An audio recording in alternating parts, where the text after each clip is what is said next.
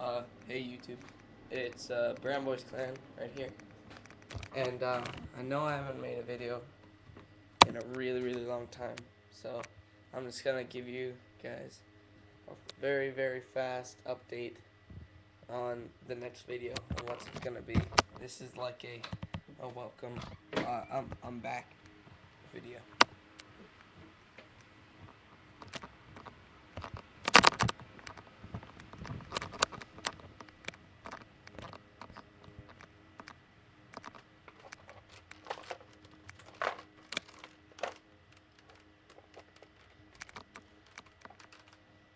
Alright, first off, we're gonna start off with something that I've been working on for a while, and I told you guys I'd show it, and I didn't show it yet, so here it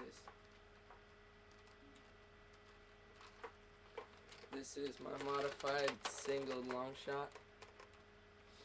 It it's getting ranges of about 80 to 95.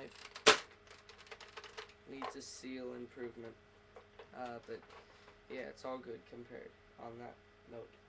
And I have a Recon.